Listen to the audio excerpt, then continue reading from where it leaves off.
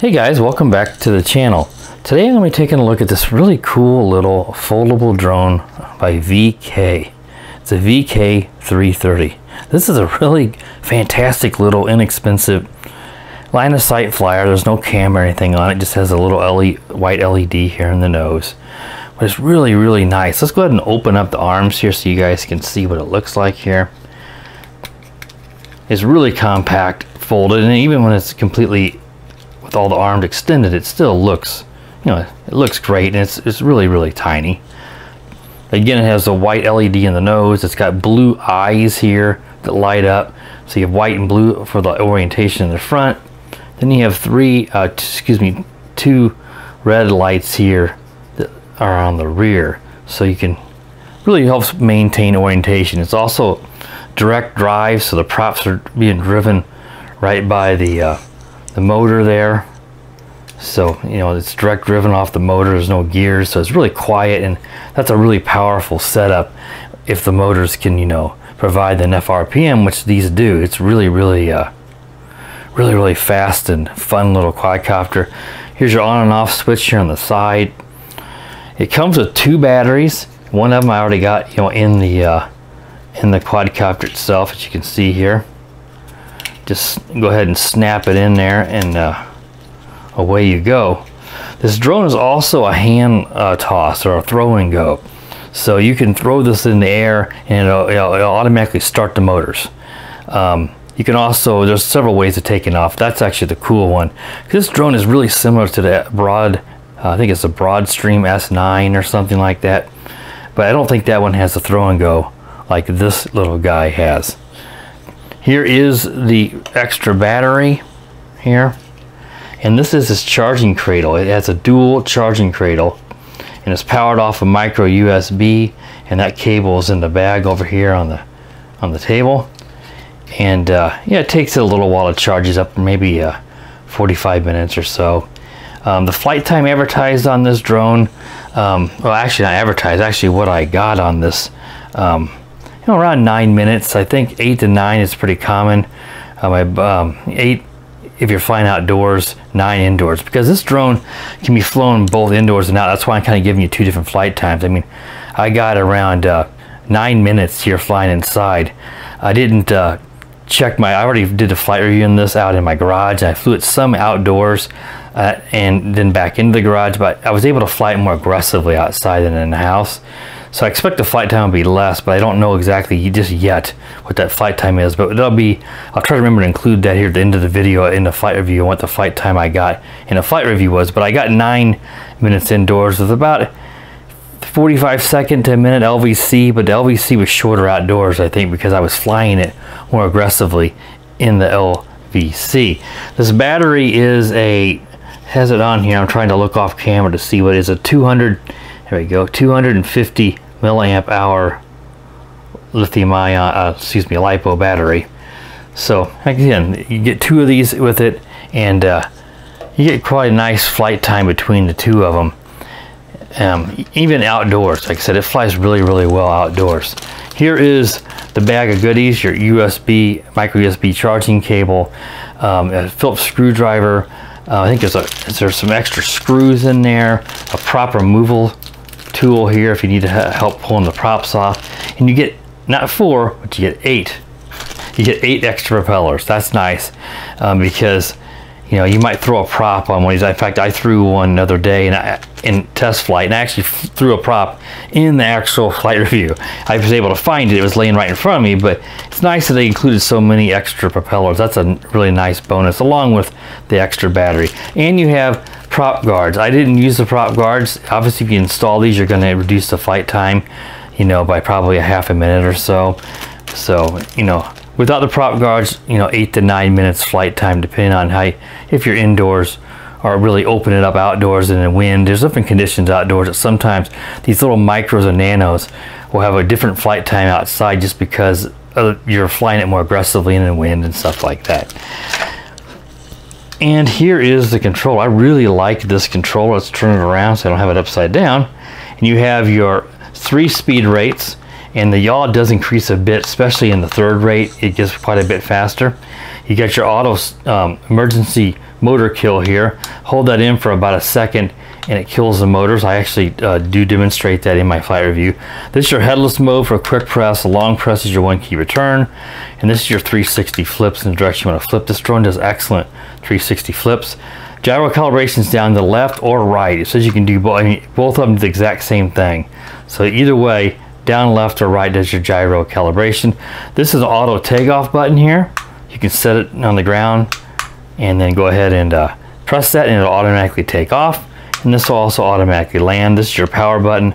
This is your roll trim and this is your pitch trim here for the, you know, just trim for the right stick. They had to put it over here because of lack of space. So your auto takeoff here, you can also start the props by both sticks down and out and then give it throttle. And then of course you can just do the throw and go where you throw it up, the motors fire up and then it goes. Be mindful, it gets a lot of altitude when as soon as it takes off. So if you're in the house and do this, it may hit the ceiling. You'll see it kind of hit the, my garage door opener and stuff in the garage as I'm doing it because it wants to gain altitude. So if you're doing a flight indoors, you're probably better off doing using the auto takeoff here. But outside, you have, you know, the throw and go works really, really well. All right, guys, I think that wraps up the table review portion. Got everything covered here. So let's move along now outside where we're gonna fly it in the garage and then a little bit out into the outside. The reason why I didn't fly it outdoors very much, as you'll see in the flight review, is it was really, really, really windy today. And it was too windy to fly this outdoors very much. But I did fly it a little bit outdoors. But again, this drone does great in both indoor out. It was too windy today to fly any kind of drone uh, very much outside. So let's move along now outside for that flight review. Okay guys, so let's take the VK330, this little foldable micro drone out now for its test flight. Now I'm gonna fly it the majority of the time here in my garage. Um, this is obviously a, a, powerful enough little drone that you can fly it outdoors with no problems typically, but it's really, really windy today. The wind was just gusting there, probably 30 miles an hour. So that's gonna be too much for just about any toy drone, but I might fly it here just briefly out over the driveway and back into the garage, but it's just too windy today to fly this guy outdoors. Um, it gets a nice flight time indoors. I would go over nine minutes with a one minute LVC, but you know, in you know, flying it in wind, even a light wind stuff, I expect aggressively flying in the highest rate, it's going to probably be closer to eight minutes flight time. So let's go ahead here and uh, I'm going to set my controller down here and let's open the arms, fold those out. Make sure they kind of get locked into place. All right, let's go ahead and we'll turn it on. And go ahead here and turn the controller on. Now you do need to have this sitting um, relatively level, so I'm going to set it on the, on the ground because it won't want to bind if you're moving it around. So I'll back up, you know, easy to see. Do this binding sequence. Now the lights have gone solid. Now we can do the hand toss because this drone has the hand toss. You can also use the auto takeoff button or you can do both sticks down and out and then throw it up into the, uh, both sticks down and out and then give it throttle to take off is what I'm trying to say. Um, the gyro calibration on this is both sticks down to the left or the right. We'll do that because on a few crashes I did need to recalibrate the gyro. And there it goes. It says you can do down, left, and right, but I mean, it's it sounds like it's a gyro calibration either way. So we'll go ahead and try the, uh, the hand toss. But if you do crash this little drone, and I'm flying, of course, with no prop guards too. If you fly with the prop guards, your flight time is going to be reduced by probably at least 30, 45 seconds if you put those prop guards on. I don't really, I don't like prop guards, so indoors probably would have made a little bit more uh, sense. But again, if you do crash this drone, it can get a little bit of a, of a, a, drift because of the gyro. Just land it and recalibrate the gyro. So let's go ahead and we'll toss it up here. And it does tend to get a lot of altitude. You probably noticed there. When I throw it, it wants to really fly up. And that happened to me quite a bit. Flying indoors with a lower ceiling than this, I would hit the ceiling. So be mindful that the hand toss is better for outdoors because you're going to hit your ceiling. Okay, that's the lowest rate.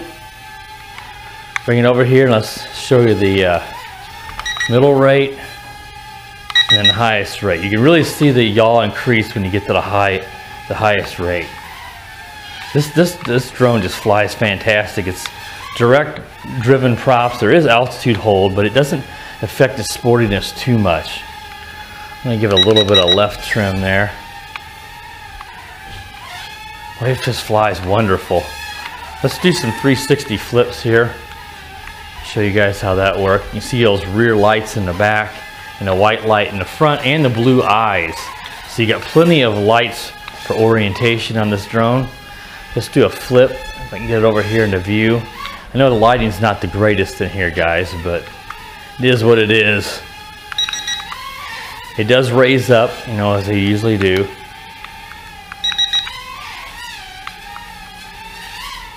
Does nice flips. You're gonna try to fly this guy in the wind, I'd obviously have it in the highest rate like I have it now. I'll fly it out here and bring it back. It's gonna be able to do just fine whenever the wind's not gusting at all, full gust. You see it's fighting it there, but boy, it's doing pretty darn good for a, a little, a little micro drone. You look at those trees over there, I mean, it's, it's ripping out there. It's warm too. Warm southerly breeze today. Yeah, this guy, this this drone flies awesome. Let's go ahead and let's do a uh, an auto landing.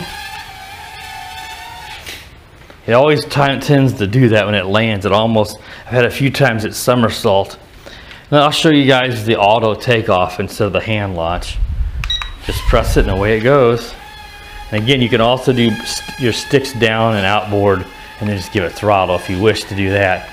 I like the hand toss but again, it doesn't work really, it's not really good for indoors because it really takes off and gives it a lot of uh, throttle. I think that's just to make sure it stays in the air and doesn't hit the ground. And it, if you're indoors, it's gonna hit your ceiling. As you saw there, banging into my uh, garage door opener there. I might try to do the hand toss again here in a moment. If you try to do it here just outside the garage. I believe this drone is pretty much just a rebrand of the uh, broadband, uh, broad, I forget the, Broadstream, Broadstream S9, I believe. It's, at least the Broadstream is very similar, I don't think it has the hand toss. So this drone is a little bit different, I believe, I don't think that one had the hand toss. Uh, the hand toss is a pretty new, pretty new feature in some of these drones. Let's go ahead and do Uh, flew it into me there. Let's go ahead and do an auto landing. Oh, and it, it bounced and it threw a prop. That prop may have been, that prop that flew off may have been the same one. It's got some, I, got, I landed some spider webs last night. That may have been the same prop that flew off of me when I crashed it. Because flying it indoors, I did hit the wall sometimes. Just trying to fight aggressively in an area that was really too small for that. So let's go out here and let's do a hand toss right here where we can actually not hit it in, into anything. Whoa, there, there it went. Let's try, let's try that again. i try to bring it in here and I don't know if the wind caught it or what. I did a somersault. This guy's awesome. I like this drone a lot. Let's make sure that the arms are all snapped into place. That wind is real, it's ripping, man. Let's try it here. I just, let's try the hand toss again. There it goes. Even tumbled. That worked really well. I'm gonna bring it back into the garage because it just can't handle, no drone, especially with brushed motors, is gonna really handle that wind. Even a brushless drone is gonna struggle at times. Almost you have to have a big brushless GPS drone or a racer to be able to really handle any kind of, of wind. Hopefully I'm keeping this in view for you guys. I don't film in our garage and stuff too often, so it's easy to end up getting the drone below the camera and you guys are like, well, heck, I can't see it. You got it at your feet. Well, it's just, it's hard to do it when you're filming with the head indoors in a small area, but this should give you guys a good idea how this little guy flies. It, it flies awesome. Whoa. Let's do a few more flips. It does flip so well. It really raises up though in, in, in altitude. So you make sure you're low, to, if you're gonna do flips indoors, be low to the ground so that you don't end up banging into your ceiling. You get up about where I am now, it's to be too high and it's to hit the ceiling. So.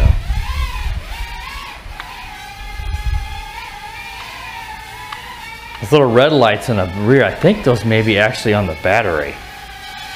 This drone is also really nice that it comes with an extra battery and then both batteries go into a dual uh, USB charger. So you can throw both batteries in the charger and then charge it up and then you've got yourself you know double the flight time essentially. I'm a big fan of the extra batteries. We're seeing that more and more in some of these drones especially the ones from Amazon like this one giving you a little extra incentives um, with these Amazon drones extra batteries the dual charger is just great because that's one of the biggest negatives you get dual batteries in one charger and then you you know you have to take and charge the battery and then charge the battery again and then it takes so long. This way you're charging them both in the same amount of time as if you, if you, as if you just had a single charger. So really nice. Well, that orientation lights really help on this drone because these little drones can be easy to lose your orientation if they don't have good lighting to uh, see the front from the rear. You know, the props are all the same colors, but that doesn't always help on these little drones. So these lights just if it just the I mean look at it just the blue and the white there in the front looks like we may be I don't know it's not blinking if we're out of battery power or not but those uh, the lights are really just nice and then having that red in the rear is so helpful as well let's see I don't know if it'll take off or not but I I'm not going to hand toss it just in case I don't have any flashing lights so let's see if it'll take off here yeah. Not sure why it came down to the ground. I didn't, I don't think I bumped the auto landing.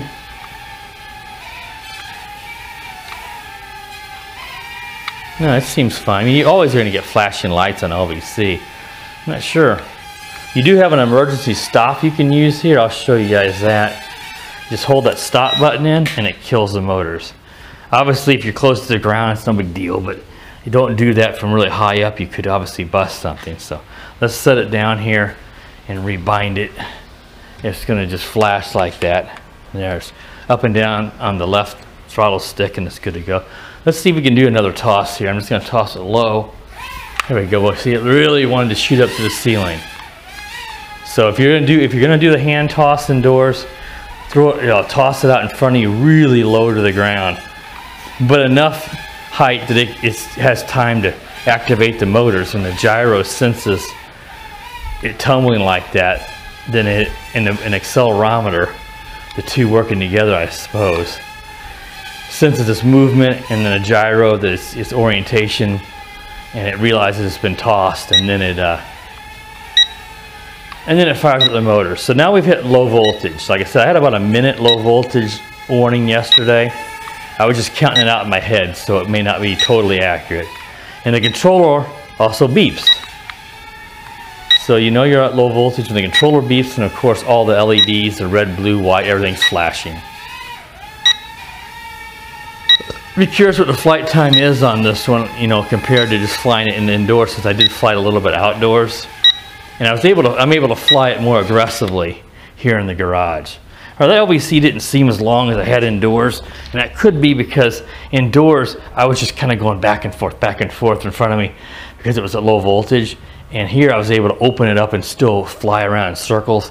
So I think the LVC is shorter because I'm using, I'm drawing more battery power off this little drone on low voltage, being able to aggressively fly it. So yeah, this is a nice little drone, really good flight time, really, really good flight time indoors. We'll see here, this one was probably gonna run closer to eight minutes or something. Hopefully I'll remember to check that in the video, but uh, eight to nine minutes flight time is pretty common on this little guy. Super little flyer. It comes with, you know, eight extra propellers, so two full sets of propellers. So if you're like me and you don't want prop guards, you may damage one at some point need to replace it or they could these little propellers on these micros and nanos they do tend to fly off as we saw there in the video so you can lose one so it's nice they included eight so you've got two extra props for each, you know, you actually got four extra props depending on the direction that they spin. So eight total extra propellers. All right, guys, that wraps up the review. Little VK 330 micro foldable drone. Really good. I'll have a link to this in the description uh, purchase link if you would like to pick this up. It can't be very expensive, and uh, and I just don't recall what, what it costs, but it's it's it's well worth it. This is awesome. Be sure to subscribe to the channel, guys, and uh, click the bell so you know when I do upload new videos. And as always, guys, have a wonderful day. The power of the dark side, side, side.